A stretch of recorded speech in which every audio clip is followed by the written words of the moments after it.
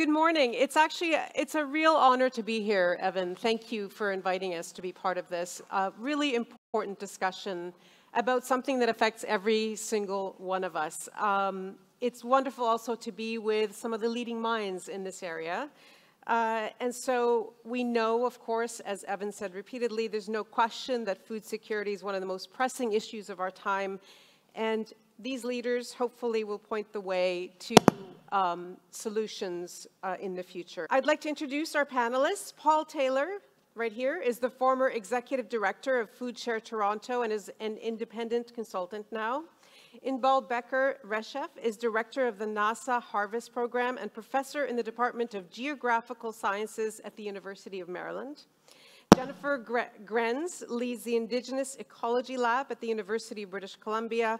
And Patrick Webb is director for USAID's Feed the Future Nutrition Innovation Lab and professor in the School of Nutrition Science and Policy at Tufts University. Please welcome our panelists. So we are going to begin today with seven-minute introductions from each of you. And I would really encourage all of you, but certainly all of you, to keep a few notes for our discussion afterwards. You will have exactly seven minutes. We're treating this like a, a live radio show. Uh, and then we'll uh, have a little roundtable of 20 minutes, and then we'll come to you with any questions that you might have. So first of all, um, a reminder that this is being recorded for broadcast, and we will begin with Paul Taylor just if you could self-introduce, if you don't mind, my name is, and then launch with your seven minutes. Certainly. Thank you so much. Certainly. Uh, thank you so much for having me, first and foremost. Can you hear me okay? Okay, great. Uh, my name is Paul Taylor. I worked at FoodShare Toronto, now an independent consultant. Um, thanks so much for having me and, and your interest in this important topic. I want to start with acknowledging that you know, my interest and initial orientation to the issue of food insecurity is a personal one. I was raised by a single mom who was forced to work multiple low-wage jobs at the same time until she couldn't anymore. So for the bulk of my childhood, we relied on welfare. As a child, I remember leaving the school grounds as soon as I was old enough uh, on my own so that I could go on solo walks at lunch. And I did that to hide the fact that I was without food. Like many kids, I was embarrassed. It was painful and an isolating experience. I'll never forget, anyone tells you that food is, is not political, they're, they're wrong, because I will never forget when Mike Harris was elected Premier of Ontario. I was 13, and it was the first election that I really paid attention to. Uh, he talked about this thing, I had no idea what it was at the time, called a common sense revolution. I wasn't sure what it meant, but I would certainly later find out. One of his first actions, some of you will recall this, one of his first actions as premier was to cut welfare by 22%. 22%. It didn't make sense to me that he didn't want to make, that he wanted to make life harder for my family. It didn't make sense to me that he wanted us to have less food to eat. It didn't make sense to me that he didn't want us to have heat, hot water, or electricity. That is until it all made sense to me several years later. I've come to realize that food insecurity is often caused by those types of cruel political decisions. I've come to realize that the pain, the stress, and the shame that were bestowed upon my family and many others didn't have to be that way. It was a political choice.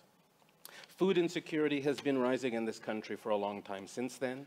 And the hardest part is that many of us don't see the connection to the choices our political leaders make. I think that our collective lack of understanding of food insecurity is one of the greatest barriers to effectively addressing it. We're taught that the best way to respond to food insecurity in our communities is to collect our leftover and unwanted food and donate it to a food bank. Schools across the country hold food drives so that kids can be taught an important lesson. But I think the lesson that we're really taught is that food insecurity is a community issue, it's an issue of charity, and it can be solved through the kindness of others. We're taught that the solution lies in food bank drives as well as community gardens, are connecting to growing, community kitchens, cooking classes, cooking classes for poor people, or even worse, redirecting corporate food waste and directing it into the bellies of low-income people, like there's some sort of walking compost bin. I understand the good intentions, but this does a huge disservice to those made to experience food insecurity. There isn't one single data point that suggests that any of those activities, while they might make us feel good, none of them have proven to have an impact on rates of food insecurity at all. But yet we continue along the same path year after year. And while we continue to do this, the rate of food insecurity in Canada is higher than it's ever been. Charity is not a solution to food insecurity, and we need to stop. One of the key things that we need to stop doing is framing uh, food insecurity as hunger. Hunger and food insecurity are not one and the same and shouldn't be used interchangeably. Hunger is something that is experienced at the individual level and may or may not be caused by food insecurity. Someone could be hungry because we forgot lunch on the counter at home or because we just ordered a meal and it hasn't arrived yet. That's not food insecurity. Food insecurity is measured at the household level by Statistics Canada. It actually has less to do with food than it does money. It's about families not having enough money to access the food that they need. Not understanding this key distinction is really important because I think it allows food insecurity to be framed as hunger. And it's what causes many of us to think that food banks is an effective response to this issue or food-based charity. And our politicians reinforce this idea with their photo ops, volunteering, sorting tins at food banks. They have allowed charity to become Canada's default response to a public policy issue.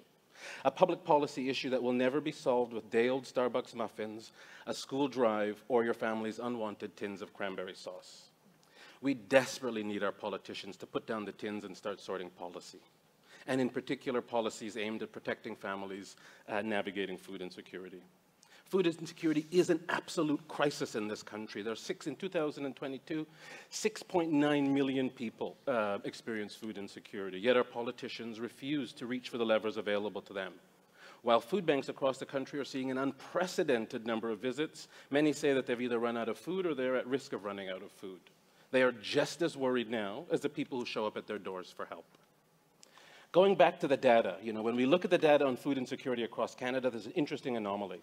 Quebec has the lowest percentage of people living in food insecure households across the country. Quebec, among other things, is indexing their social entitlements, like welfare and disability income supports, to inflation. They've also been leaders, we all know this, at introducing progressive social and economic policies for a long time. Quebec recognizes the role that public policy can play on protecting those that have been made to struggle the most. Whether they intended this or not, the situation in Quebec adds to a strong body of evidence that proves that food insecurity can and should be reduced through policy interventions. I also don't think we need to waste time and resources with another basic income pilot to prove this. We already know the transformative potential that something like a basic income can have on food insecurity across this country. We already have this data, in fact but our politicians never speak about it, and unfortunately, come the holiday season, neither does the mainstream media in this country. My last example on this potential for public policy to address food insecurity is centered on the experience of low-income older adults. The data on food insecurity shows us that the prevalence of food insecurity drops substantially as soon as low-income older adults reach retirement age. It's, it's a drop in food security of almost 50 percent. 50%. That's huge. And this happens because seniors actually have access to a form of basic income in this country by way of the old age security program, the guaranteed income supplement, and any other income from pensions that they've contributed to. The drop in rates of food security uh, is both sizable and undeniable. Unfortunately, 6.9 million Canadians forced to endure food insecurity can't wait until they're 65 to escape, for an escape from food insecurity. They need action now. Reducing household food insecurity requires the commitment of public revenue, policies, and resources to ensure that incomes are adequate, secure, and responsive to the changing costs of living. We need honest conversations about the root causes of food insecurity in this country, and we need politicians brave and ambitious enough to put food insecurity where it belongs once and for all in our country's history books. Thank you.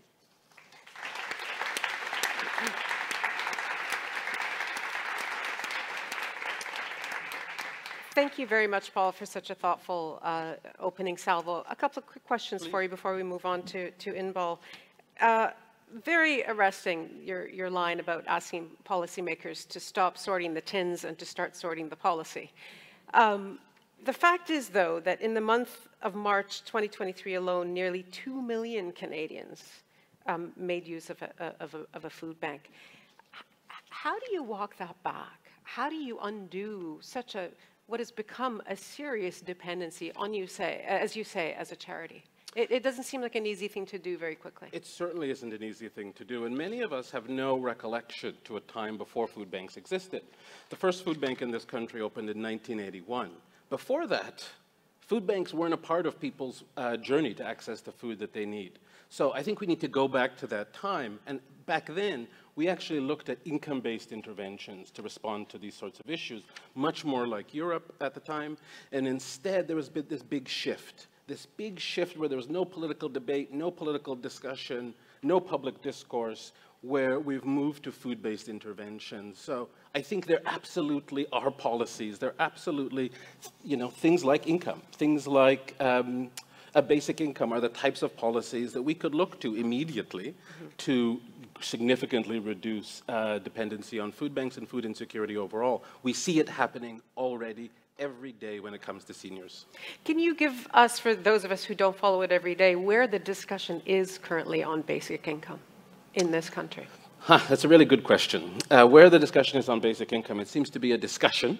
Um, some people say that there's a policy window around basic income. I'm critical of the idea of policy windows.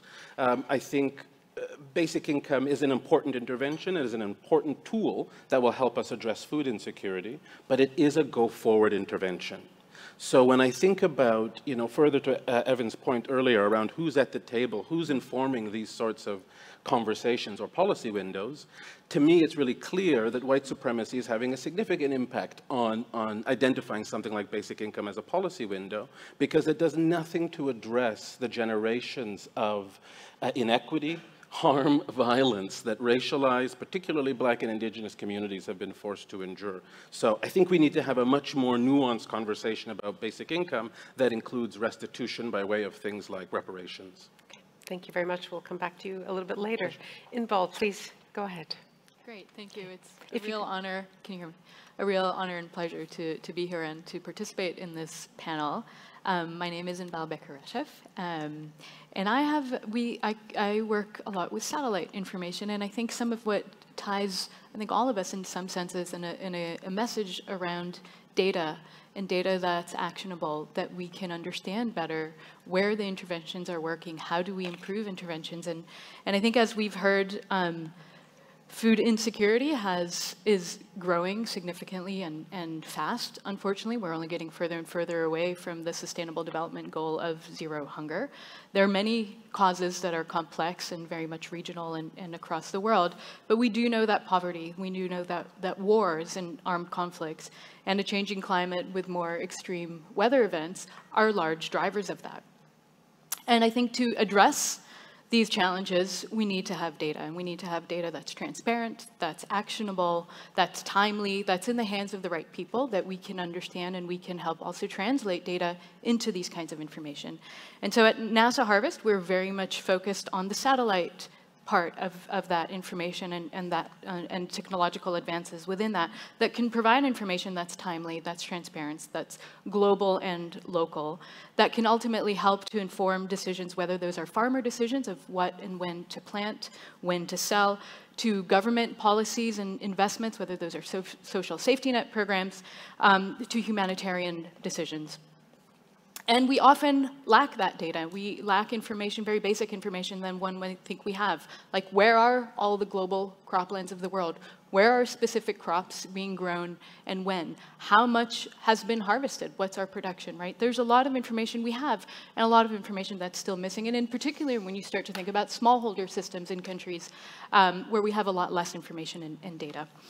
And so what I would like to do is, is talk perhaps about a, uh, an, an, example of, of some of the work that, that we've been doing on, on helping to provide some more transparency. And, and one of those is around the war in Ukraine.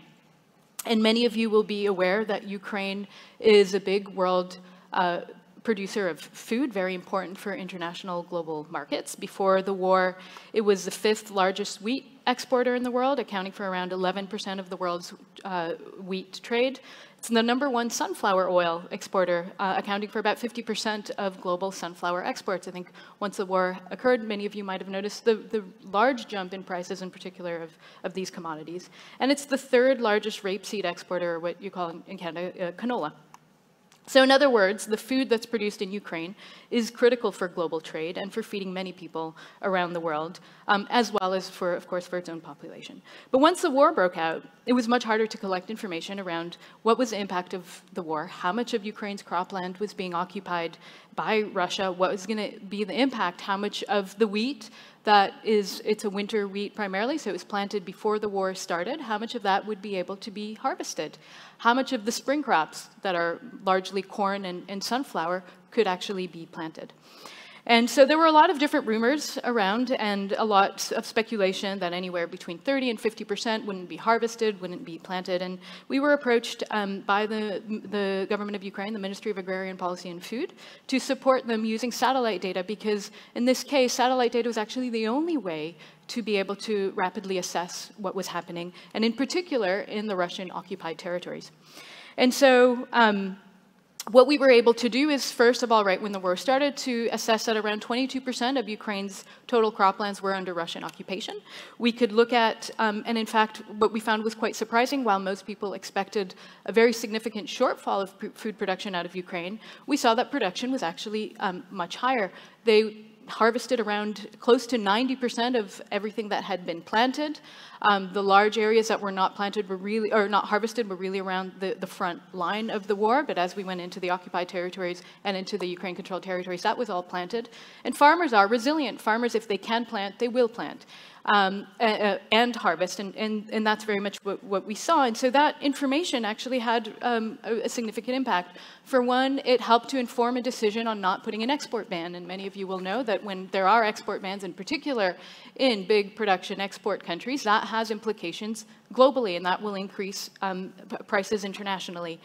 Um, and we also um, have continued to, to, do this work, including this uh, current season. And one of the things that we were able to, to, assess is how much of Ukraine's land has been abandoned due to the war. We're seeing a, a tremendous amount of artillery and, and, craters, a lot of damage to um, some of the world's most productive agricultural land. And, and what we found was between 6.5 to 8.5% of Ukraine's total cropland was abandoned due to the war. And when we converted that to how much food was lost, could have been planted and harvested, and wasn't, um, that accounted for, that could have fed uh, close to 25 million people. So those are not small numbers. When we look at what was produced uh, this year alone in the Russian occupied territories, I can give you the number in millions of tons. That might not resonate in terms of how much food that is, but it's around 22% of Canada's wheat production for this year. Or it's around close to 60% of the imports of Egypt. Egypt is the world's largest wheat importer, right? So we're talking about tremendous amounts of food, where today there is no agency actually that's providing information on the Russian occupied territory. So if you look at the numbers of what is Ukraine producing, they're right now the government-controlled territories, whether you're looking at the, the FAO on, on the UN side of things, or where you're looking at the Ukrainian government, or the US Department of Agriculture. And so that is really important to have that transparency, to have that, that kind of information. And so, um, but this kind of information, I'm just trying to illustrate one example, is really important. And you can, you, uh, this kind of information can help inform farmer decisions. If you're a farmer in Saskatchewan, for example, and trying to decide when should I sell my grain? Should I store it or should I sell? What should I plant? Should it be? And, and this kind of information can become very important. It can become very important for informing decisions of uh, governments on sustainable practices. Which ones work best where? How do we make better recommendations? Uh, where are we going to have shortfalls and how do we start to, to provide that kind of information? So these types of information, I think, Ultimately, though, to be effective, and I think we've heard this theme throughout and we'll continue to hear that, they have to be user-driven. They have to be co-led. It can't be somebody sitting on the other side of the world saying, I know what's going to be valuable information for you. These have to be done in, in partnership. They have to be um, co-owned, co-developed, co-led, and have ways to transition these kinds of information ultimately into those end-user systems such that they're sustained into the, the future. And I see I'm out of time, so I'll stop there at a few more comments. Perfect we'll timing. Thank you very much. Uh, uh, I have never, I, am nowhere near a subject matter expert on this, so forgive me for these, for these questions, but how is it that that kind of data gets into the hands of a farmer in Saskatchewan? What's the access like? That's a very good question. So I think a lot of what we try to do in, in, this sense is to provide information that's global and transparent, right? And so that if we have better information on markets, on what's happening in the big exporting countries or in the most vulnerable countries. And so on our side, we have something called the, the crop monitor, but there's a lot of systems and, and information that are going out in place. And I know that different farmers actually go and, and, and look at these kinds of information. Um, and then, of course, you try also to work with different organizations that farmers are more tied into when you're starting to think more about practices and different decisions at the field or subfield level. But there's a lot of work going on in the satellite space in terms of um, different use cases for farmers to use. And the other thing I was curious about is what did actually, what was the impact on the rest of the world's producers of the information that you did uncover about Ukraine and what was going on there? What did, how did it affect the farmer in Saskatchewan or in India or somewhere else? For one, understanding that there was actually a lot of production, right? So production was still reduced relative to the five-year average for Ukraine, but, but was actually pretty close to that. And so what that meant is that there wasn't an export ban. Um, and then that means that the prices didn't skyrocket. And so having that understanding of that grain will come onto the market. In that case, the, the, grain corridor was still operating. We know now that that's not, and Ukraine is working very hard to get still those grain exports out. But having knowledge of what's happening in global markets does actually influence decisions of a lot of farmers around the world of what they're going to plant, what's going to be most profitable, profitable, what's needed. If you look also at sometimes farmers in the southern hemisphere, when you have asynchronous seasons, can be very informed around what's happening in the northern hemisphere, and again, be able to then influence those kinds of decisions. Great. Thank you very much, Inbal. Jennifer, if you could start by introducing yourself and start your seven minutes. Yeah, thanks, Nahlah. Thank um, my name is Jennifer Grenz. I'm an assistant professor and Nlaka'pamux Indigenous scholar uh, jointly appointed between the Faculty of Land and Food Systems and the Faculty of Forestry at UBC. Um, and my research focuses on the reclamation and revitalization of indigenous food systems. And so when we're talking about um, solutions today is, you know, looking to our knowledges and communities, um, you know, in terms of land stewardship as well as our, our food systems to inform solutions. So I'm going to start with a story. Um, during my undergraduate degree at UBC, my husband and I lived into what was referred to then as like married student housing. Um, and it was one of the longest places that we ever lived. Um, for five years, we came and went from our tiny little apartment, and we got to know no one. uh, we could recognize the couples that lived beside us and across from us, you know, perhaps exchanging the occasional nod as we unlocked our doors a few meters apart from each other, but we never knew them. And it's not because we aren't friendly people, I think. um, it's just that this is what our metropolitan societies become. You know, individualism, nuclear families, disconnection. And this experience came to mind as I was kind of struggling to figure out um, how to properly characterize what I see um, as the root causes of food insecurity for this panel today. My lab at UBC, the Indigenous Ecologies Lab, we work only in service to Indigenous communities on land healing initiatives where we apply a food systems lens to ecological restoration. And in all of these communities, um, as well as a number of the small and rural communities that they exist beside or within, I witnessed firsthand uh, the existence and power of alternative food systems. Um, and well, I thought my focus today would be on how we need to transform how we see natural lands as food and give recognition to these traditional food systems like protein sources like deer and elk and moose and fruit sources, you know, like huckleberries and salmonberries, that they deserve, uh, you know, they're, they're critical and often overlooked contributors to food security, not just in indigenous communities, um, but rural ones as well and the sharing and trading that accompanies them, you know, protein sources for plant foods. Um, this is really a hidden part um, of our food system that functions outside of capitalism and outside of commodification. And really today I wanted to point squarely at capitalism as the cause of food insecurity and the sharing economies of these communities, you know, that of purposefully stewarded lands as a solution. Um, but thinking more deeply about these systems and my experiences, um, both in these communities and um, like my experience at UBC, not knowing my neighbors, I realized that capitalism um, wasn't quite the problem. And alternative food systems are only part of the solution, um, or rather, they're a symptom of a solution. Um, so this summer, as I worked battling invasive species on the shores of a northern, uh, North Coast Indigenous community that I work alongside, I was watching as their fishing boats were coming in at the end of the day. And I watched the fish being brought immediately to the homes of elders and families with children first. And on my own family's small farm in Parksville, um, I grow and I preserve fruits and vegetables every chance I get. Um, I can and dry everything. And this fall, my friends from the nation whose traditional territory that we live on brought us fish. And I packed up a huge box of all of our preserves, canned fruits, canned juices, vegetables, dried herbs, and berries. You know, and these are alternative food systems that are rooted in reciprocity, you know, with people and our lands and our waters and respect and sharing and caring for others to ensure that all are fed. And none of it can exist without those strongly knit communities. And I realized thinking back to our apartment at UBC that the answer, you know, isn't entirely in government policies and solutions. Um, in fact, it might be foolish for us to be relying on the hope of systemic change. I hate saying that, but people are suffering right now with food insecurity. And really, we are the answer.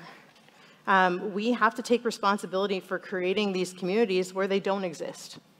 Um, community in the truest sense, like I get to witness in the indigenous communities that I work with and the rural communities surrounding them as well. Most of us live in this metropolis, and many of us, while living among so many people, find ourselves living entirely alone, trying to do it all, take care of ourselves. And to me, we have to find a way to create community that ensures no one's left behind. That it's not solely about existing within an alternative food system, as great as that can be, it's about existing in a system of community care and that then perhaps frees up resources for things like food.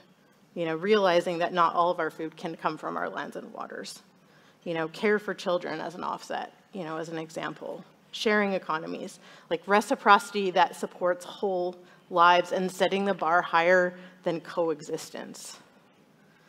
I was recently at a gathering on Haida Gwaii for Indigenous food champions, and it was a gathering of mostly Indigenous people from several different nations working on indigenous food systems reclamation and revitalization. And it was to be a creation of a new community to support those of us doing this kind of work. And as part of that, we were asked to each bring something to share with the whole group. And on the final day, we would have this sharing table, and you would get to choose, you know, what, what you were, um, you know, something that you would like to take home. And if there's anything that I've learned about Indigenous communities is that we take gifting very seriously. We will not be outgifted. Um, a Haida friend of mine was like, you'll never outgift a Haida. And I was like, you want to bet, right? Um, and I left that event with my suitcase like way overweight and like God bless the Air Canada lady who kind of just pretended she didn't see and took my suitcase. But I left with this abundance of jam and honey and seeds and tubers. I got Haida potatoes and Tsimshian potatoes and dried plants for making medicines and art and books. And I was just overwhelmed by the abundance that comes from the creation of community. You know, so there's no one way we can fix food insecurity, you know, and as we recognize that, um, I think it's time for us to think about these social innovations, you know, in, in understanding what communities need and working by their values, and recognizing that there's opportunity for innovation at the local community level. Um, and where we can focus on collective well-being and, and build community level resilience. So, Thank you, Thank you very much, Jennifer.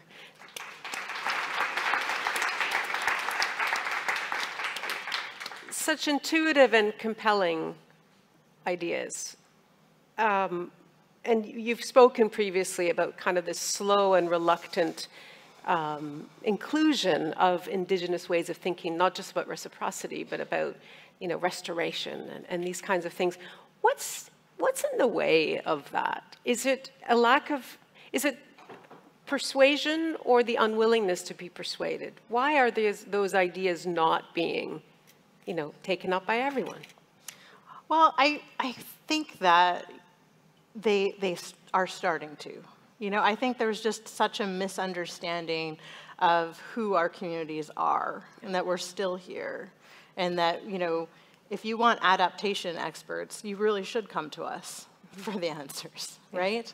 Um, you know, so I, I feel a lot of hope now. You know, there's more and more interest in our knowledges to and, and, our worldviews to inform or provide a grander picture, you know, because we should be further ahead than we are. And maybe it's just having more uh, contributions by different worldviews and perspectives that are going to help complete the picture. So I think we're, we're almost there. Is there an example that you can provide where food security is concerned? In terms where, of, where it's, it is actually being taken up by people outside, you know, of the indigenous circles? Yeah, I mean, even just within when we think about climate event recovery, you know, um, wildfire recovery is something that I am actively working on um, in the neighboring territory to my own, where my cousins are in St'át'imc territory.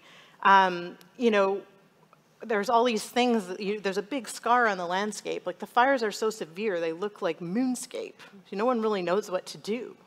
And um, you know, so everyone's like, well, we need to kind of put things back the way they are. And the indigenous communities are like, wait a minute, wait a minute. This is food systems collapse. Not just traditional food systems, but agrarian food systems as well. This is a, a ranching area.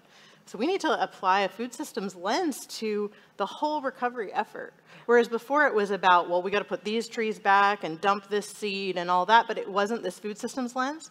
And when I started to talk about that, you know, in our multi-stakeholder gatherings, there's like, holy smokes, you're right. This is the collapse of food systems. And if we think about it that way, we're going to make sure everybody is tended to. Like, what about the food systems for the bears? What about the food systems for the for the deer? You know, and then ourselves, both traditionally as well as within the agrarian setting. And that really is bringing everyone much more together and giving this cohesion going forward that we're all in pursuit of the same goal. It just looks a little bit different depending on what part of the food system and cycle you're on.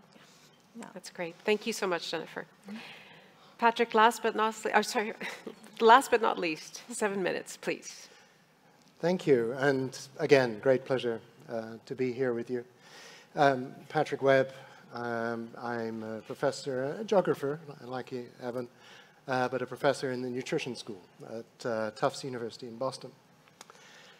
Um, it's been great to hear this progression of, of discussion. Food, food insecurity. For, I am going to talk about food. I'm actually going to talk about diets in particular as the core uh, when we talk about food. But I, in all my years of working on, on food insecurity with indigenous or, or peoples around the world, the things that I come away with are uncertainty, pain, shame, fear, Right? It's not just the hunger dimension, it's the, the things that wrap around hunger that make the experience of food insecurity so damaging at the individual, the household, community level.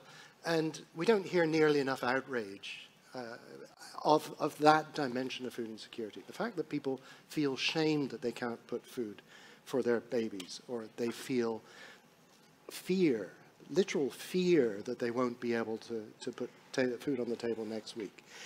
There's a, there's, a, there's a serious problem here, structural problem. You use the word food systems uh, collapse. And that's what it comes down to. So my, what I'm putting on the table is that food insecurity is all the things that have been said so far, but I, I'm put it in this bigger picture of food systems collapse, or put it on a positive sense, food systems transformation.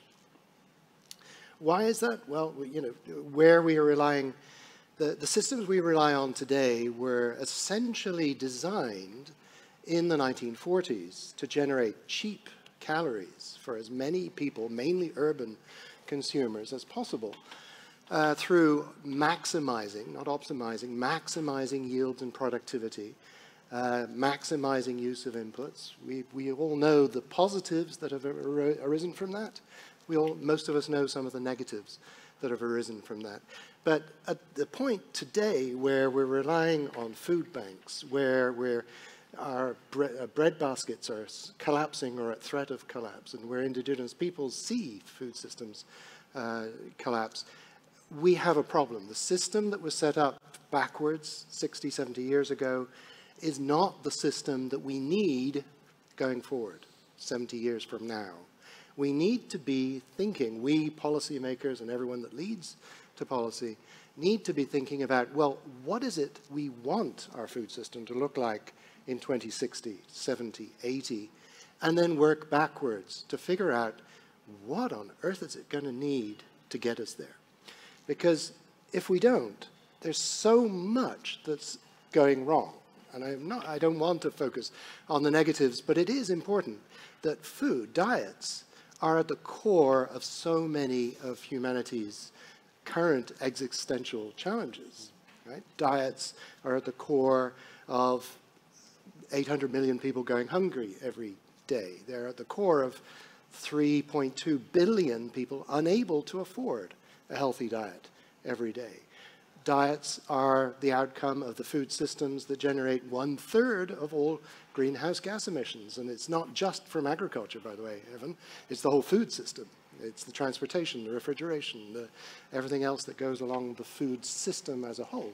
So climate change, so climate health, human health, 20% of all preventable disease relates to dietary, suboptimal diets.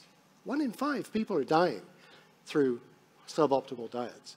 Now, you, you, a lot of the um, child uh, labor uh, problems around the world in terms of exploitation of child labor happens in agriculture and food value chains subsequently.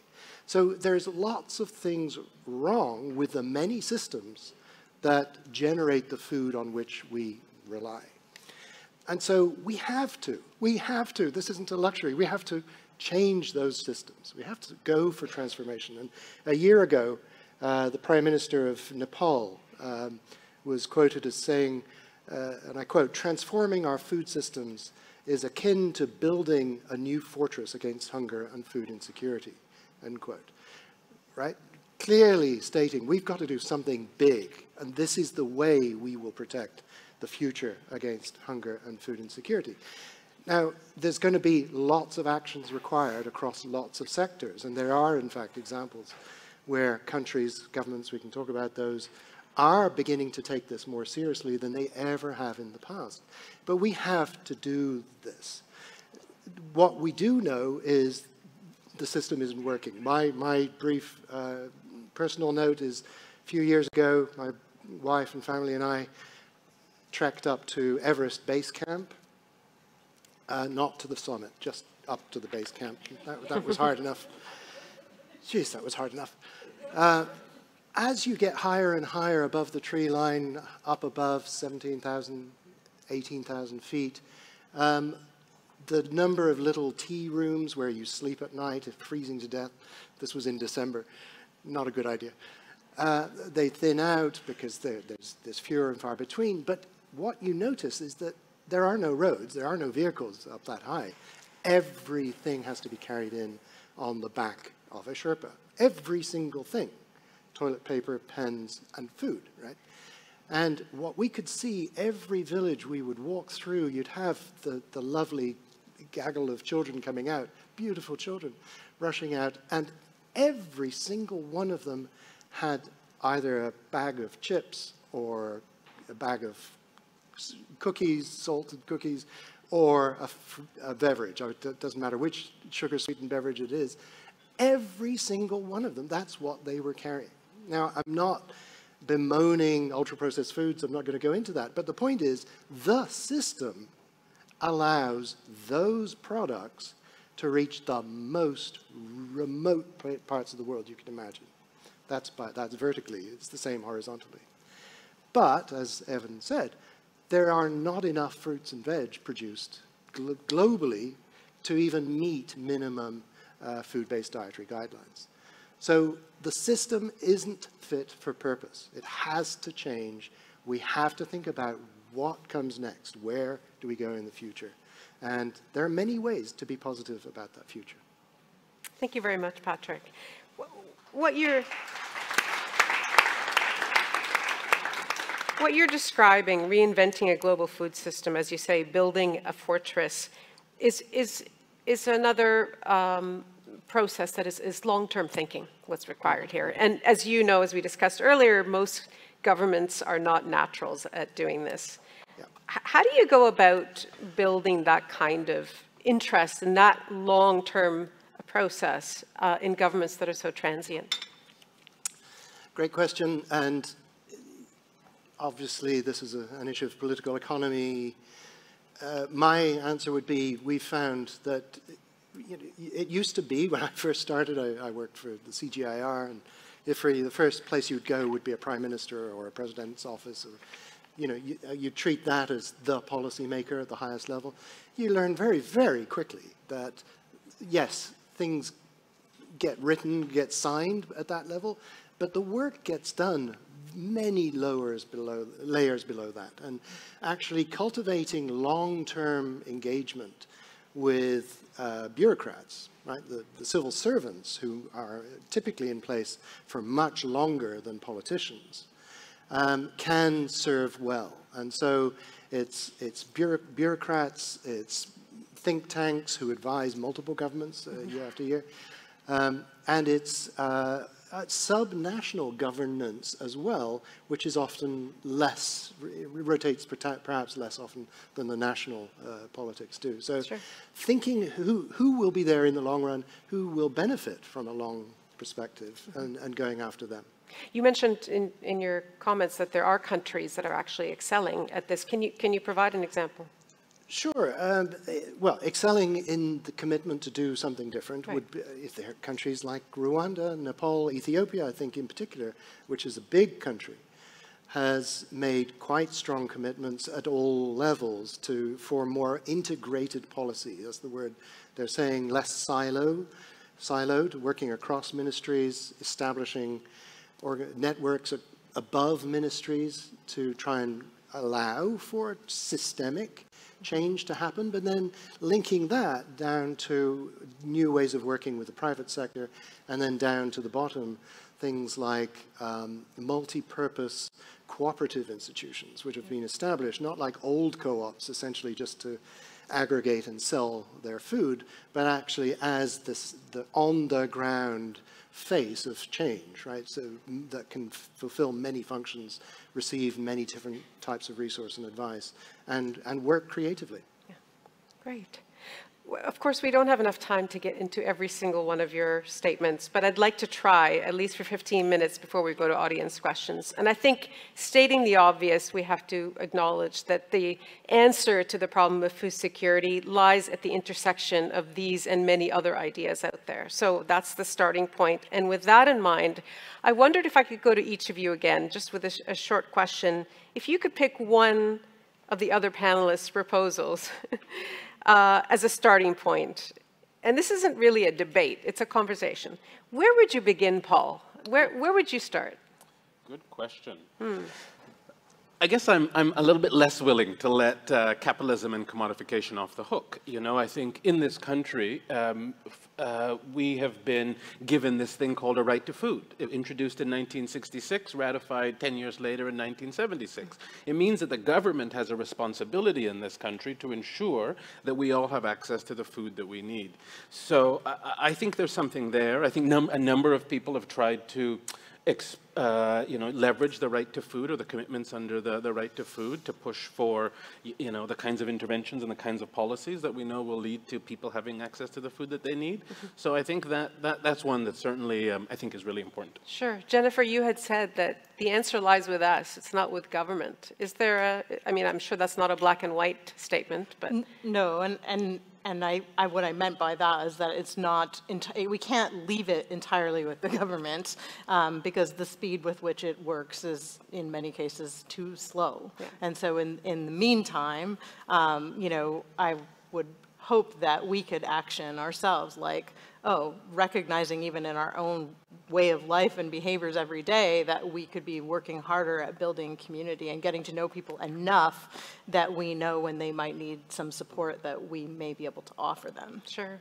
So maybe just staying with you, where would you go, having heard the proposals that your, your colleagues have made, where would you go kind of as a starting point? Well, I think data is incredibly important and something I talk a lot about in my research is that we need to bring the tools of the new and old ancestors together for the benefit of all.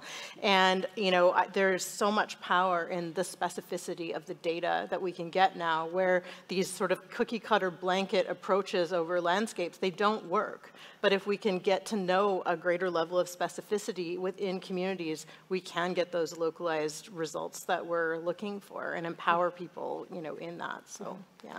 Inbal, so, one of the concerns that comes up always with data are privacy concerns and, and, you know, how much data, how much do we know about everybody's actions? How do you, how do you deal with those questions? Those are questions that come up all the time. I think one thing um, that I didn't say about satellite data in particular, we have lots and lots of free and open satellite data.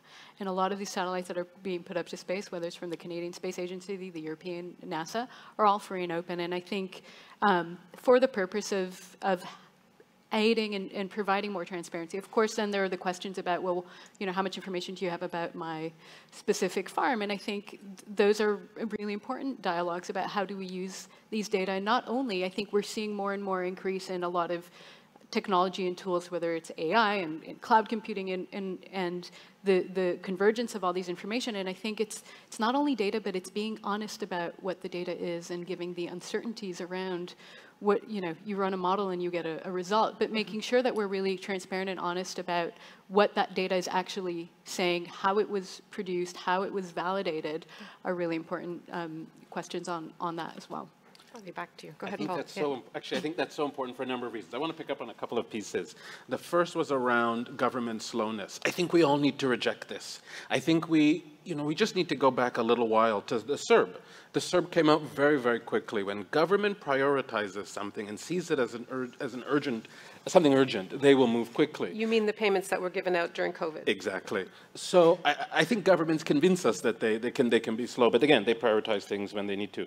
I think the question of data is really important and what data we look at, because in this country, for example, when we look at the data around poverty, it tells uh, a wonderful story, and we have, you know, uh, members of parliament, go uh, government officials of every ilk, um, speaking about um, the, the, the incredible impacts that we're having around reducing poverty.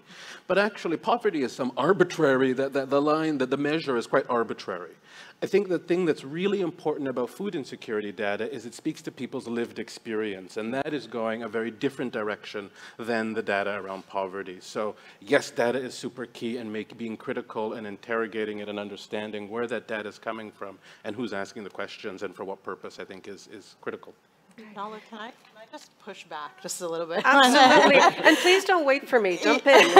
Uh, any of you, please. I, Go ahead. You know, it's not about letting government off the hook when we talk, characterize it as slow, but our communities have suffered for many, many years waiting for the government to do something. And so I think it's about empowering ourselves to do something in the meantime. And like, yes, when government's motivated, they can ask quick, answer quickly, but then we're relying on them to prioritize what's affecting us in our day-to-day lives. Yeah. And so I think it's like, you know, there's not one silver bullet here, but it's like, what are we doing while we're waiting for them? And ever, like, I sit with elders all the time, and they're like, they're done waiting. Right. They're like, you just got to go. You just got to do this. Yeah. yeah. Patrick, just your thoughts. Uh, we'll go back to the round of questions, but your thoughts on as you're listening to this conversation about government, because you must see examples of this around the world. Absolutely, but I, let me respond again on data. I think sure. absolutely data uh, are essential, but increasingly I find that we need we need the appropriate data that supports a clear narrative, mm-hmm. right? Not just points of you know statistics. Uh, which speaks to your, you know, the difference between poverty and, and food insecurity. Uh, they're very different measures. They overlap, but they're very different. Um, as we move towards a food systems transformation, hopefully, then it's, it's not that we need more data, new data, but what we do need is information that helps tell the story, that things are moving in the right direction, that things are being done. And some of those may relate to governance, for example, uh, and governance, governments. What are governments do or not? Mm -hmm. What are they doing or not? Um, in, in terms of putting in legislation into practice or um, enabling certain uh, policies to be seen on the ground at a certain time, right? That's very different from how many documents have you signed uh, uh, at top.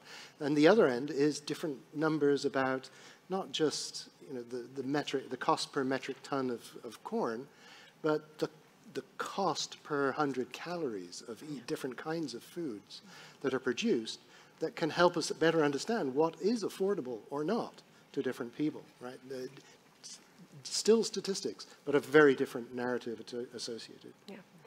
Did you want to also make a comment when you recall what we've talked about so far about where to begin? If let's imagine, even though government is maybe our, our first priority, that we're writing a white paper for for a government. Where, where would you begin in in radically changing the picture of food security?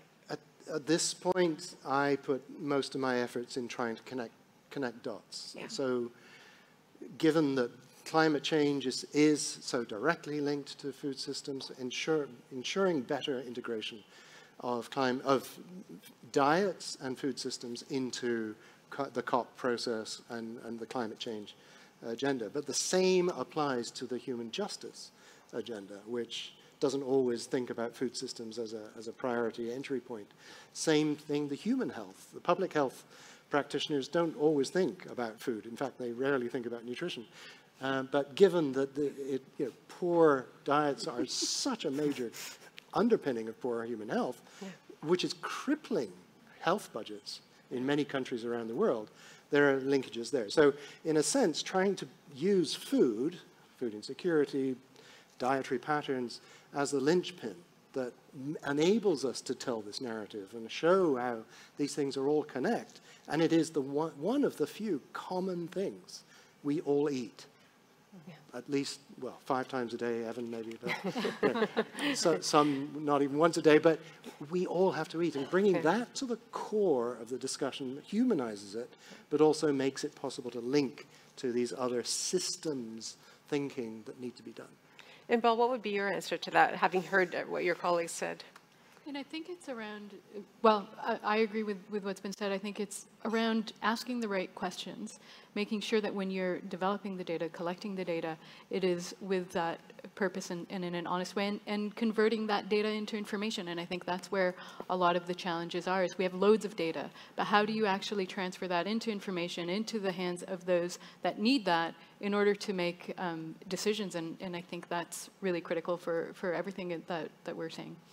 Were you going to add something? Yeah, I just, yeah. Uh, you know, as we're talking about data, I have to come back to, I want to uh, introduce another point, you know. Sure. I'm, uh, so I'm in this space uh, with all of you that, uh, let's be frank, is predominantly white. Um, it's diverse, but predominantly white.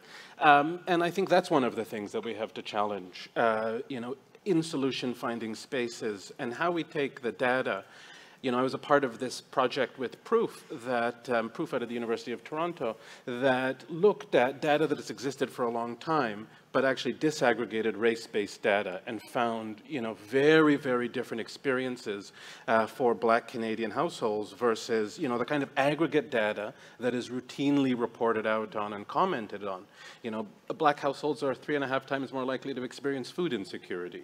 We, we know that, you know, the, the kind of narrative around food insecurity in this country that is based on aggregate data suggests that if someone lives in a single parent household, they're less likely to experience, they're more likely to experience food insecurity. Well, of course, but actually not of course, because for black Canadians, the risk and prevalence for food insecurity remains high regardless of how many parents are in the household.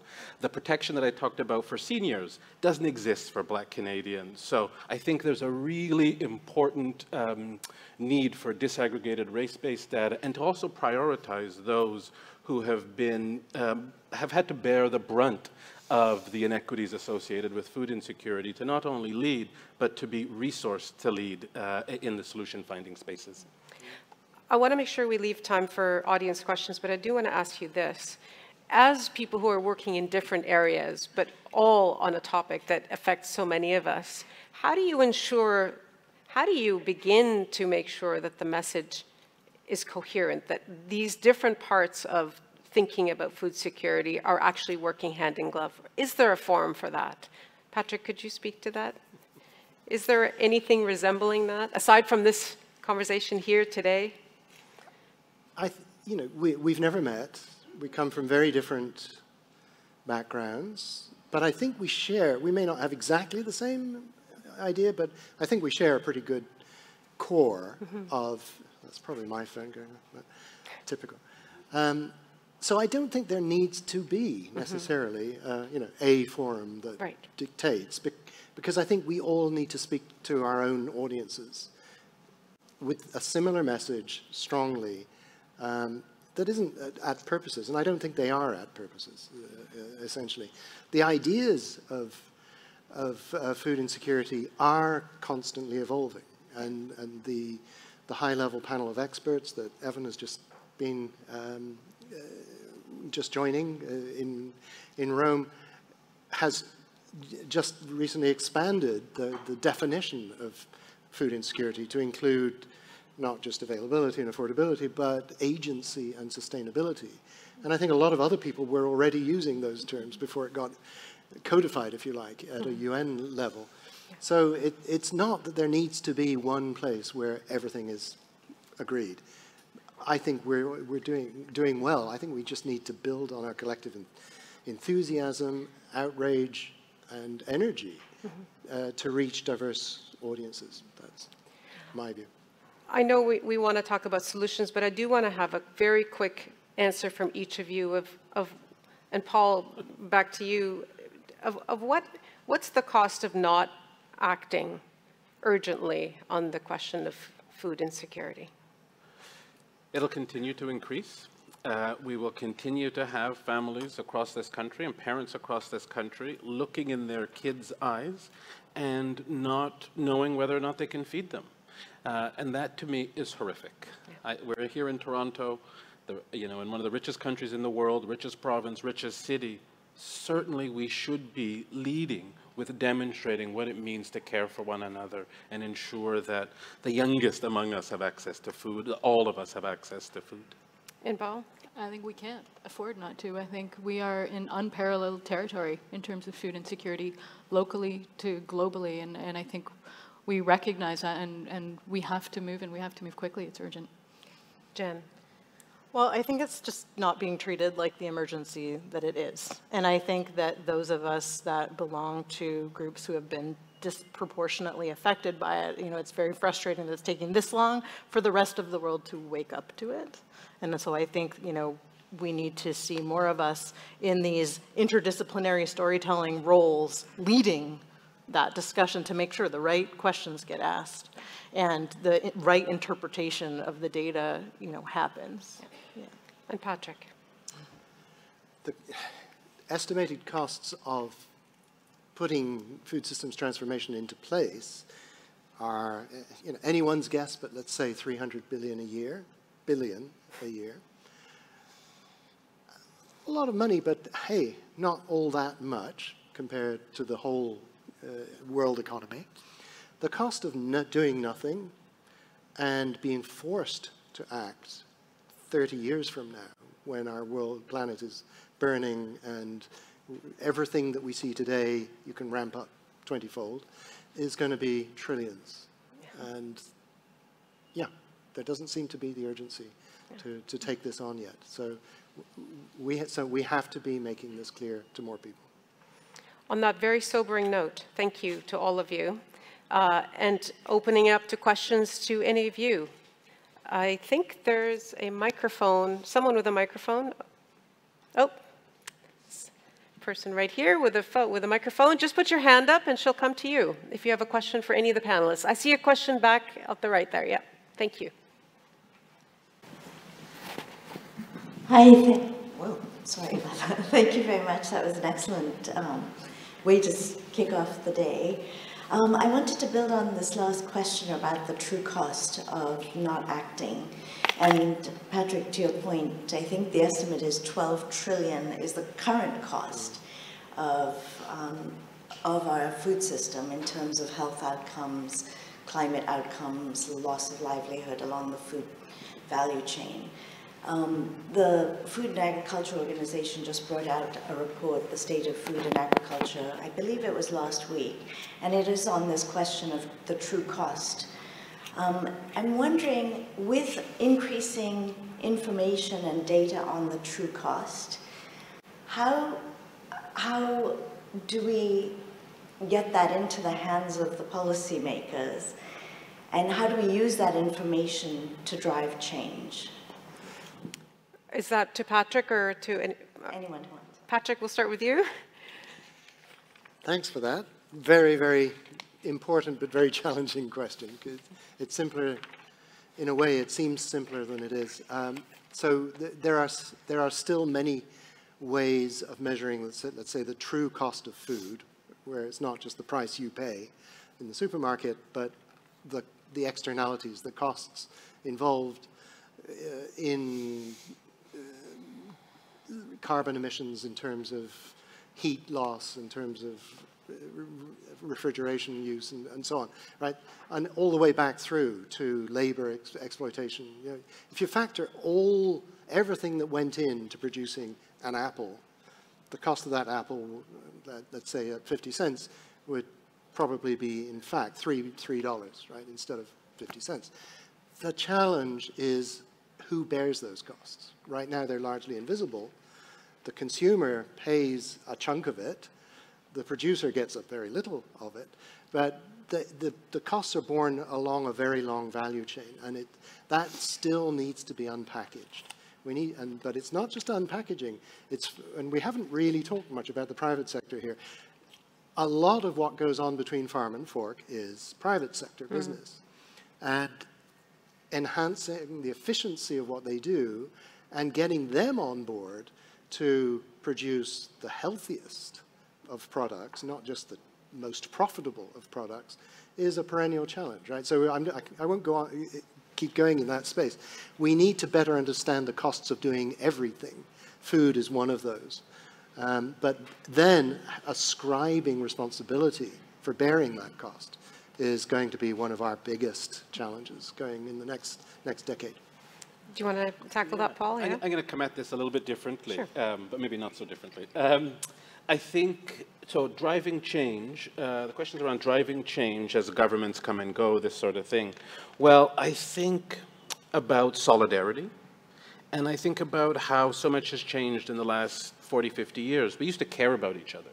Uh, you know, I hate to be so crass, but I, I don't think we do in the same way. We used to actually sit over the fence and talk to our neighbor, now we race from our vehicle, we race into our units, and we don't want to talk to anybody. You ever hear that button at the elevator? If you live in a condo, that closed door, closed door. That's the reality of where we're at. So I think before, you know, in order to advance the kind of change that we need, we've got to also be building solidarity, and we've got to be thinking about how do we um, move away from these transactional types of interactions that have become so commonplace to more relational type uh, um, organizing, uh, building relationships, because I think then we can start to care about and advocate for those that are being left behind and actually uh, put some skin in the game in terms of ensuring that folks are no longer left behind. And I also think, you know, one of the things that gets in the way of our ability to do that is we are so busy. We are trying to stay alive. We're trying to find childcare. We're trying to find housing. We're trying to find affordable medicine. So I think, again, in one of the richest countries in the world, if we could commit to a framework that advances a decent quality of life, that includes things perhaps like a basic income, perhaps you know, affordable childcare, building the affordable housing that we need, pharmacare, these are the sorts of things that I think will give us the kind of time to maybe not be pushing that elevator button and wanting to engage with our neighbor and wanting to advance the kind of change to ensure that no one's left behind. Okay, thank you. Is there another question in the audience? There are two back there, I think. Yeah? Maybe we'll try, we only have about seven more minutes. We'll try to get through as many as possible. So with that in mind, please go ahead. Okay, hi. Uh, thank you, all of you, and thank you to the Arrell uh, Food Institute for this, uh, this conference. My name is Jeff Nankivell. I'm the CEO of the Asia Pacific Foundation of Canada, which is a national public institution with a mandate to promote understanding and awareness and engagement between Canada and Asia. And in February, uh, we'll be convening a major Canada-Asia agri-food conference in Singapore. Happy, and my colleague uh, Jordan Dupuy is here also, we're happy to talk to folks about it.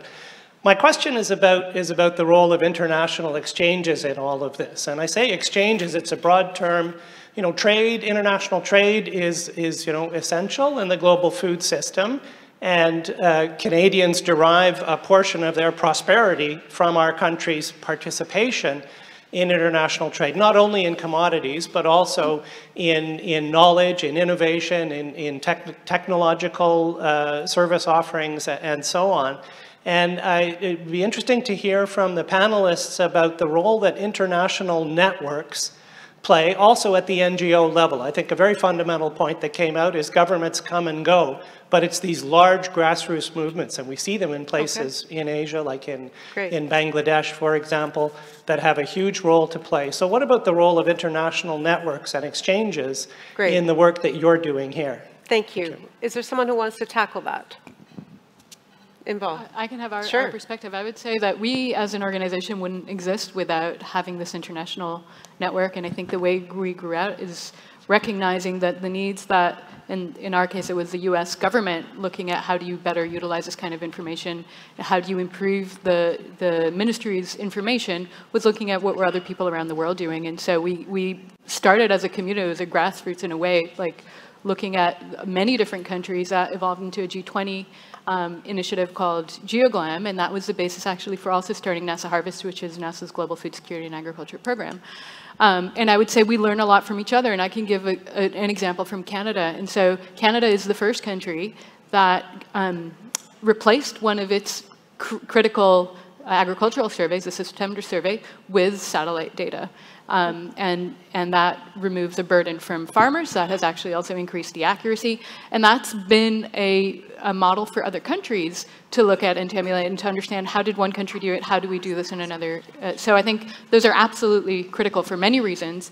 Uh, our food system is interconnected, it is global. We're all changing similar challenges in some cases, others in not, but having that international forum to, to come together is, is absolutely key. In the interest of time, I'm going to keep going unless anyone's burning to add more, okay? Where are we right now? Please, go ahead.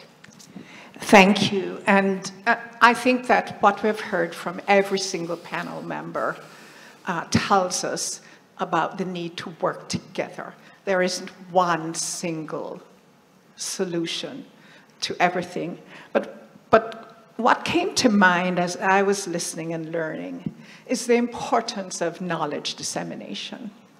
And that includes knowledge that references disaggregated data and the impact, the varying impacts on populations and how that should influence policymaking.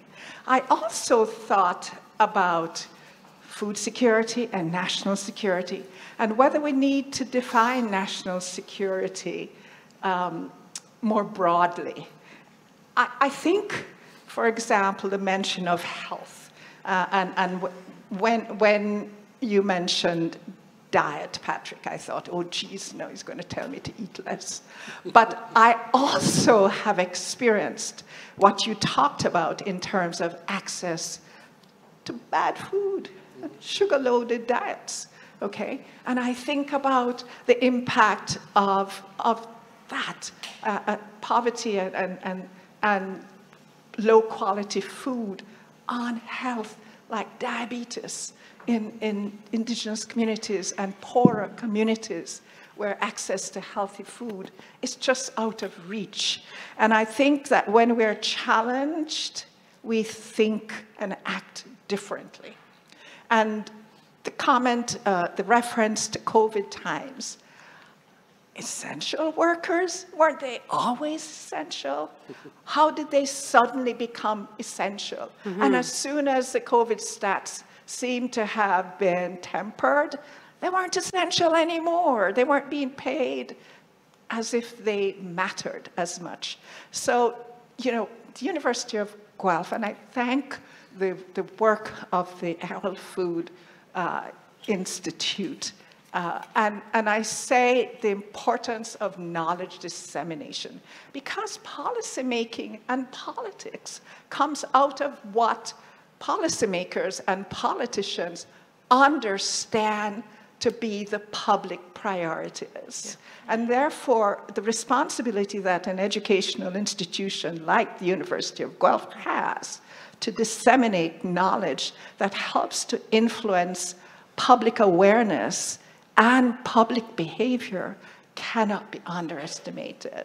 So this is as much an observation as a question okay. uh, as to how we can, you know, individually go away and think about the different roles that we each can play in that regard. So you're putting that to the panel? That to actually to everyone, everyone. to everyone. It's a, it's a wonderful way, actually, to wrap up this conversation. Um, it is an ongoing conversation. Of course, you'll be having it throughout the day, but I will throw it out to any of you who wants to make a final comment, given what was just said. Jennifer? Well, I think when we come at this issue with really big numbers, we have a huge problem because they're not tangible. Yes. Like trillions of dollars, what does that even mean? Yeah.